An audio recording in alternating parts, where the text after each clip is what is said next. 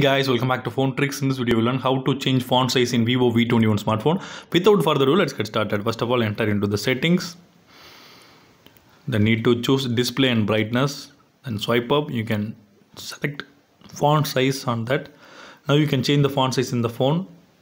You can choose large or largest, any size you want. So I will choose large. When you when you choose after, you need to come back to the home screen now the size of phone font is changed to the large. So that's all guys. I hope this video is very useful to you. If you like this video hit thumbs up and do subscribe our channel for more interesting phone videos. Thank you